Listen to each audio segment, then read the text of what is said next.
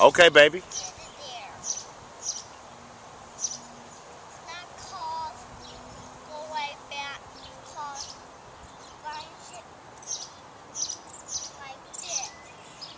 Hands first. Hands first.